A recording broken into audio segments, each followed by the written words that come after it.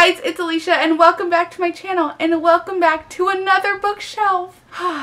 it makes my heart happy. I will never run out of places to film. Today I'm going to be doing a recent reads video. So I'm going to briefly recap the books that I've read so far this year. Kind of like a quarterly checkup. And also I'm going to wrap up the books that my sister picked for me in the month of April. So here we go.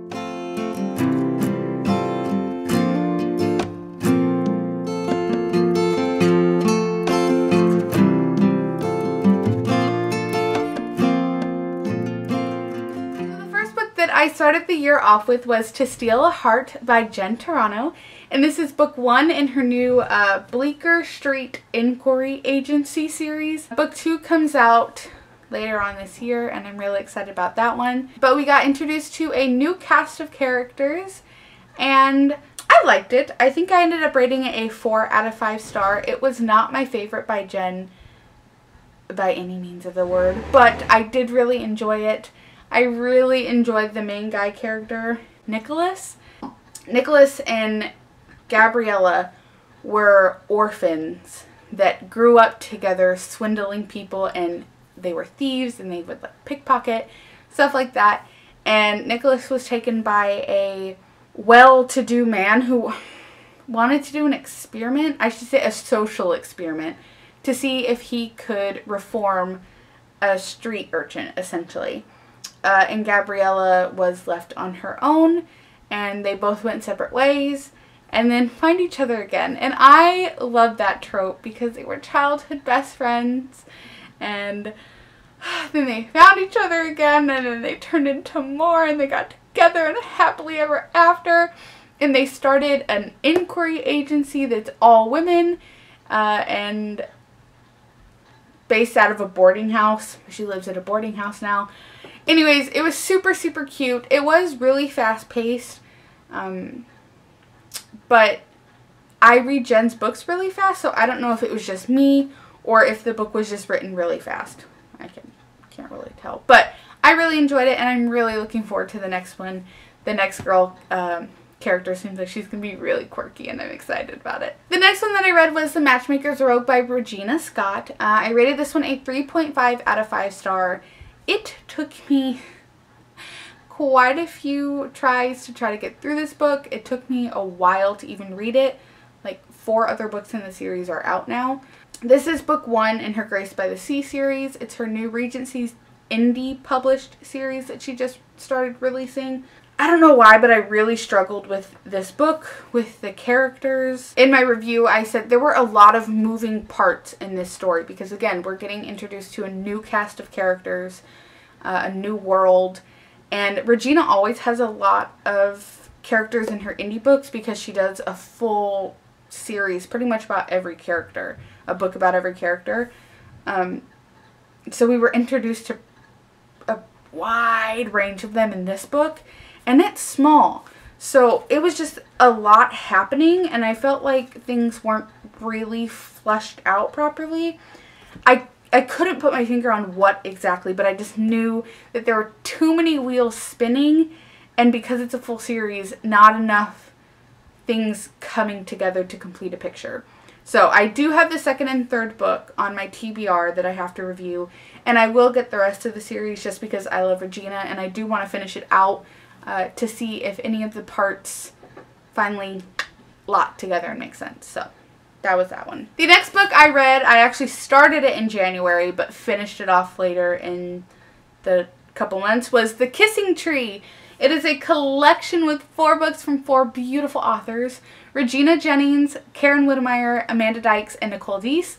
And I enjoyed this collection so much. My review will be going live in the next couple days or next couple weeks. I don't remember how I have it scheduled. But it is a collection that spans time. So it starts in it starts in 1868 and then ends in present time, all revolving around this weeping willow that the town has dubbed the kissing tree. And each story was absolutely beautiful. I think my favorite was probably either Karen's or Amanda's. Both just touched my little heart. I love novella collections, especially when they span one particular thing. For some, I just, I love them. I don't really know how to explain it. I just think that the size is great when you're kind of in a slump and you just want to read a story or you don't know what to read. Novellas are always the perfect thing to just dip your toes. And this collection was beautifully done and I loved it. I rated it a 4.5 out of 5 star overall as a book collection. You can read all my individual thoughts on my blog. Next, I read Courting Misfortune by Regina Jennings, and this one I believe I ended up changing my uh, my rating, and I think I gave it a 3.5 out of 5 star. Um, originally, I had it at a 4, but after I was writing my, like, sitting down and actually writing my review, because Alysha is a procrastinator, um, these books have been sitting on my shelf waiting to be reviewed since I finished them off in January and February. It's April, the end of April, and I just finally sat down and actually wrote the blog posts uh, and scheduled them. So, Alysha's really bad at that. Once I was actually sitting down and writing my reviews, the things that bothered me about the book bothered me too much for me to give it a 4. Um, so I dropped it down to a 3.5. I still really enjoyed the book. This, again, is a new book to a new series, The Joplin Chronicles. Um, new cast of characters, new place. We meet Callista, and that's her name, right? Yeah, Callista in, what is the novella? Ah! In the Serving Up Love Harvey House collection that she just did. Um, we meet Callista. So I was really, really, really anxious for her story. I thought it would be fun. Unfortunately, I think I set my expectations too high because it let me down. Um, Callista is a Pinkerton agent, but in the probation period, she's one of the first female, not one of the first because Pinkerton had hired other females, but she is in probation because she is a female, like her first job. So she's sent to go find this girl and she sent to Joplin and her family's from there. So she runs into them and her family's like in her face and all over the place, which is fine, whatever. The family didn't bother me. What bothered me is that she was having to play this bad girl part because she was trying to find a girl who was said to be in brothels. So she was trying to like play this part, kind of. And then the guy main character was a preacher from the middle of nowhere that came to Joplin to reach the lost and they end up meeting and she couldn't tell him who she was. So he was seeing her as a lost soul, but he kept like having these weird like he was falling in love with her, but he also knew that it would like an unequally yoked situation because he didn't know that she was a good Christian girl because she wasn't portraying herself to be that way because she couldn't because of her assignment. I just, I didn't like that because he knew that it was like wrong and it felt like a flirt to convert kind of thing. And I just, I didn't like that. Even though she's a Pinkerton agent, like she had a month to be on this case and it just didn't feel like she worked at all which like made sense at the end because if she had tried she would have found the girl like it was I don't know. It was a cute love story. It just, the things that bothered me bothered me enough that I like, struggled to get through some of it. But I read it fast. Like, I'll read the next book in the series. I'm excited about the next one in the series. Um, we're going to keep following this like, family. Um, and I loved the family aspects. The next book I have is Nothing Short of Wondrous by Regina Scott.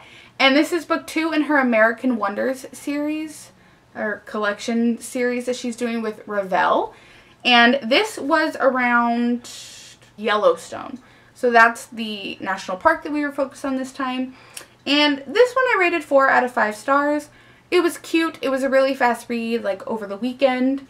Um, I enjoyed this cast of characters. It's based around a lady who owns a hotel in the middle of Yellowstone and then a group of army men are sent in to kind of like set it up to see what would be the best route through or something like an expedition team, something like that. Anyways, it's a whole history thing that I'm not very good at, even though I love historical novels. It's ridiculous, I know. But I loved the army team. They just felt like a family. It was cute. There was chemistry, not like jumping off the page chemistry. Overall, it was a cute story. Um, I liked it. I'm coming to find that I just don't know if I'm her, like, the biggest fan of her, like, westerny American type stuff. I really enjoy most of her Regency stuff. But it's, they're cute. They're, they're good, fast reads if you've got nothing better to do. The next one I read was A Life Once Dreamed by Rachel Fordham. And unfortunately, this one does not have a rating. I have yet to write my review for this one. I don't know if I'm going to write a review. No, scratch it. I'm going to write a review for this one. I have to. Because people do deserve the bad reviews as much as the good reviews. Um, it's my duty as a reviewer to review all the books, even the ones that I did not enjoy. Um, I struggled with this one. First, it took me three tries to get into it. Um, I had to have a group of people that I was texting who'd already read the book so that I could talk about it. Um, I did not like the main character. There was like a this weird wannabe love triangle that just wasn't fleshed out properly. Um, there wasn't a reason for it. It the whole book just felt like fluff essentially. It needed to go through maybe another year of like like passes through an editor for me. I just there was so much potential for this story. There really was. It I was excited because it's a trope of like they were dating and then they broke up and then they got back together. And I I enjoy that trope. This one was just not done very well. Um it screamed Christy knockoff to me. Um like the show, if you've ever watched the show Christy, um, it's like it screamed Christy show to me. And I don't know. I really struggle with it. I am having a hard time writing this review because I don't want to be mean. I don't want to be spiteful, but I know that I need to write the review um, because I, I didn't enjoy the book.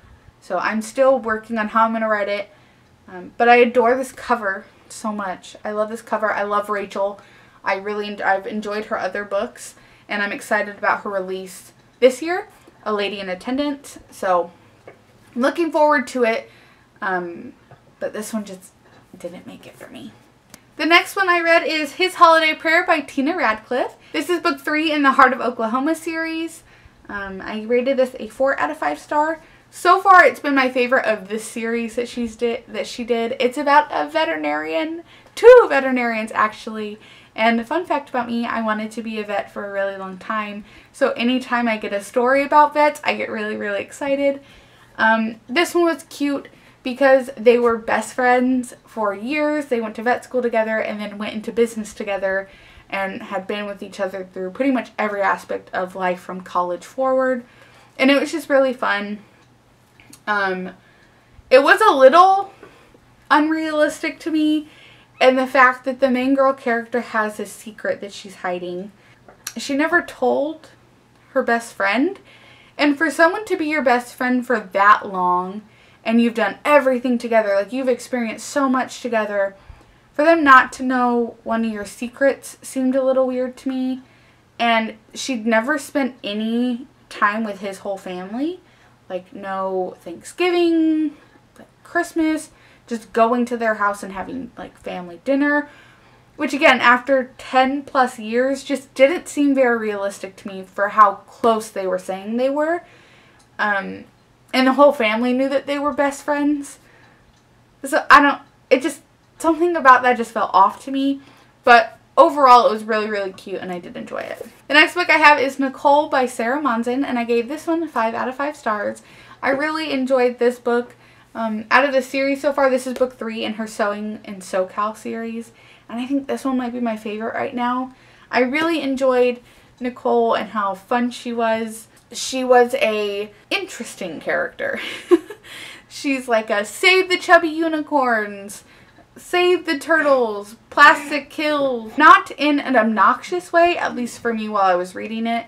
Um, but I loved Drew, who's the main character here, we meet him in Molly in the first book. He is the main guy character's best friend.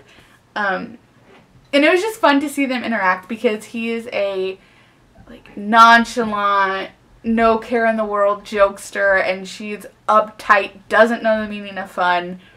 And I don't know, they were just a fun pair to me. I had a really fun time reading it. I read it in the airport on my way to California and finished it while I was waiting for my plane. So, what, what do I do next? but I really, really enjoyed it, and I'm excited for Amanda, which is the next book in the series. The next book that I read was Second Chance Christmas by Belle Renshaw, and this is book three in her Winter Montana series. I gave this a 4 out of 5 stars. I really, really enjoyed this story. We finally got Troy. That's his name, right? Yes. We finally got Troy's story. He is the third Bradley brother, and I just loved him. And he falls in love with a young lady named Summer, who I think we technically meet in book two, but I didn't remember it. So it's been a while since I read book two. Um, but they were just a fun couple. It was like based around a food truck and chefs and cooking and a, a little bit of a um, competition. And it was just a lot of fun. I really enjoyed it. Um, personally, my paperback copy could have gone through a couple more edits uh, for like typos and such, but that didn't take away from what was inside. It was so sweet and that's easily easily fixed on the author's end. So it was so good. I really liked it, and I'm really looking forward to book four. I found out uh, that there will be another book in the series at least, so I'm really excited about that one, and I really enjoyed it. The next book that I read was Raising Honor by Jill Lynn, and this is book four? No, I lied. This is book five in her Colorado Colorado Groom series, and I was so excited about this book. It was about Charlie, who we met in book four. Yeah, we met her in book four, and I was really, really excited to read her story. Um, it took me a little bit to get into it, but overall I really did enjoy it. I rated it a 4 out of 5 star for the story that it was. It dealt with fostering and adoption and a family being put back together, and it was a lot of fun. It was really, really sweet, super cute. I really enjoyed the story, and I'm looking forward to reading the next book. Alrighty, the last book that I read before I jumped into the books that my sister picked out for me was Vying for the Viscount by Kristi Ann Hunter, and I gave this a 4.5 out of 5 star. This is book one in her Hearts on the Heath series that she just started, so new cast of characters, kind of. One thing that's super fun about Kristi's books is that they're all written in the same world and the same timeline, so we get cameos from characters from her other series, and I... that makes me so incredibly happy. I love that we got to see Aaron, he's from the Haven Manor series. We got to see Trent Hawthorne, who is from the Hawthorne House series. And then we got introduced to a new cast of characters who is really, really sweet. And I'm really enjoying the series so far. I'm in the middle of book two at the moment and we'll probably finish it within the next, hopefully, day or so. This deals with horse racing before it came and like with the Kentucky Derby and everything. This is its history and it's such a fun time to be in and something new to learn. And I really loved the new set of characters um, in this book, especially Bianca and Hudson. They were just fun and I loved all the horsey things and I'm really excited about the new series. I liked it. And now we get into the April wrap up where my sister chose my TBR. I love my sister. I do. However, if she picks my TBR again, I think I'm going to have a few more rules about what she picks. So she picked out five books for me, and as a recap, it was book one in the American Wonders series by Regina Scott, A Distance Too Grand. Aiming for Love by Mary Connealy, which is book one in the Brides of Hope Mountain series. Over the Edge, which is book three in the Kincaid Brothers series by Mary Connealy. Kincaid Brides, not Brothers. A Bride in the Bargain by Deanna Gist. And Dawn at Emberwilde by Sarah E. Ladd. Um, if you watch the video, know that I've technically actually read two of them previously. I've already read A Distance Too Grand and Aiming for Love. And I said that I would reread them. However, I didn't. Because I didn't really care for the stories. I've actually read A Distance Too Grand twice, and I didn't really care for it either time. Aiming for Love, um, I really, really, really didn't like. Um, and I didn't want to put myself in a reading slump, so I decided for my own personal reading health, I was not going to read them, and I'm glad that I didn't because I think I've decided that I'm probably not going to read many more of Mary Connealy's books. I think I'm going to take a break. We're on a break. Uh, I had a really hard time with Over the Edge. I did not read these two, uh, so we're going to talk about the three that I did read. Over the Edge, Mary Connealy. Mm.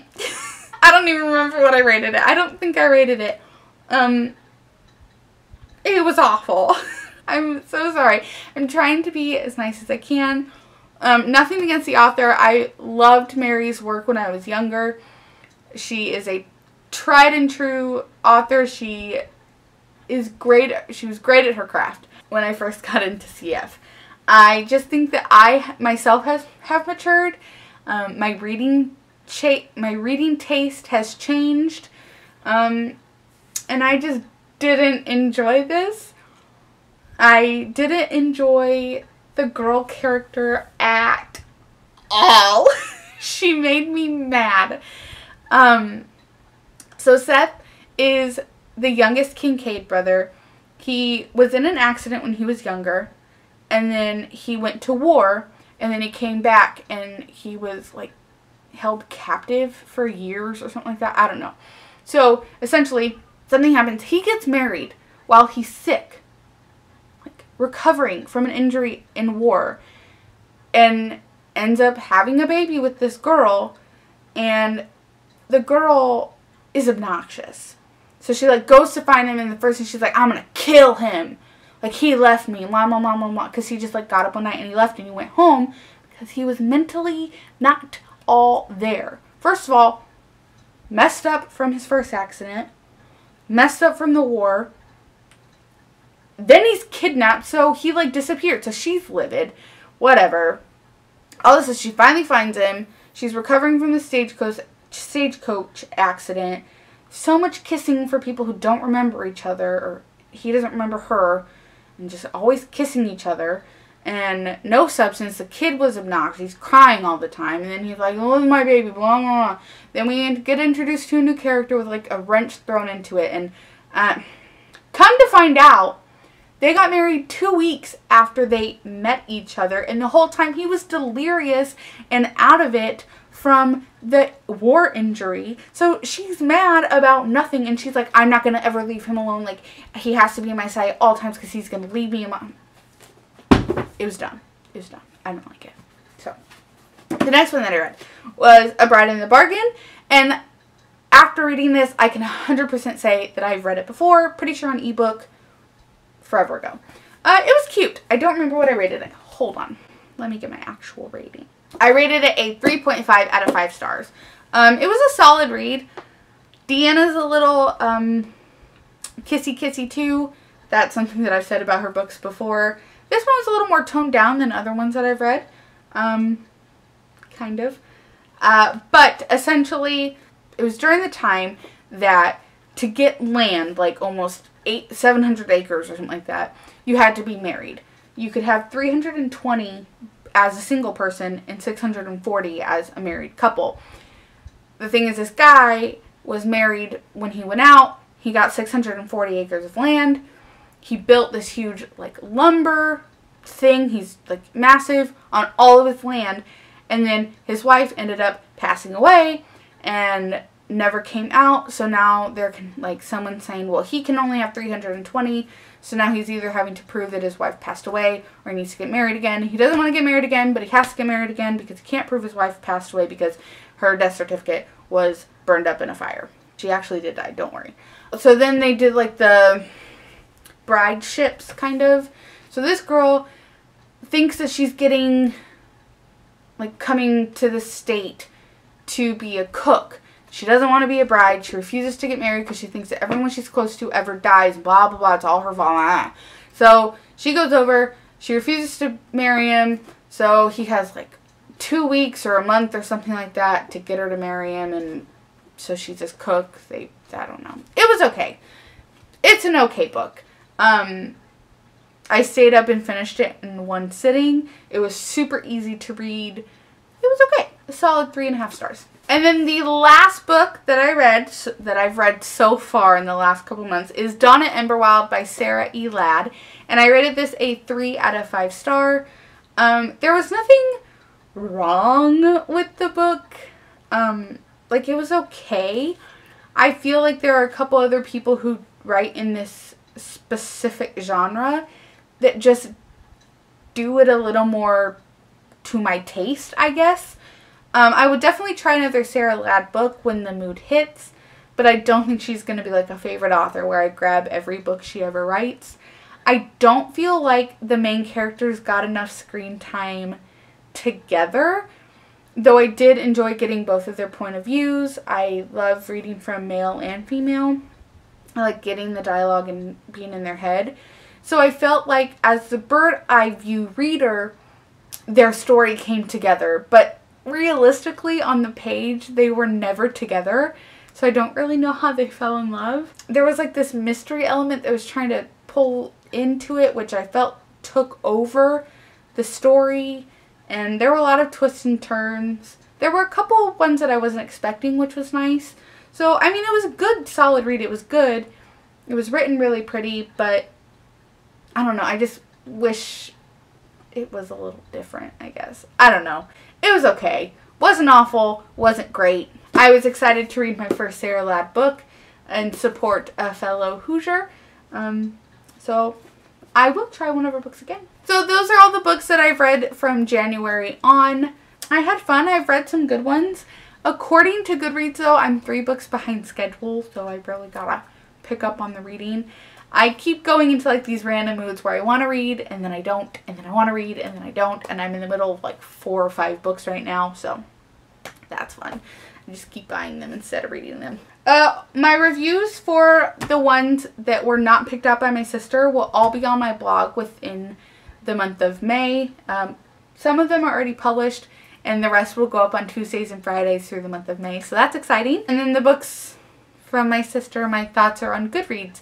So you can check all that stuff out. All my links are in the description box below. Let me know what you have read so far. What has been your favorite book that you've read so far this year? And what are you in the middle of reading right now? Right now I'm in the middle of reading Winning the Gentleman by Kristi Ann Hunter. Uh, the Haunting at Bonaventure Circus. I'm going to finish The Love Note by Julia, Joanna Politano. Joanna Davison Politano. And I'm reading The Escape by Lisa Harris. I think that's what I'm in the middle of right now. Lots of stuff going on over here. Hopefully I'll be able to finish them all soon. Uh, I hope you guys enjoyed today's video and I'm excited to start sitting down and talking about the books that I read and actually giving reviews and doing all the things. Now I'm just rambling. Alrighty. I think that's it. I'll see you guys next time. Bye.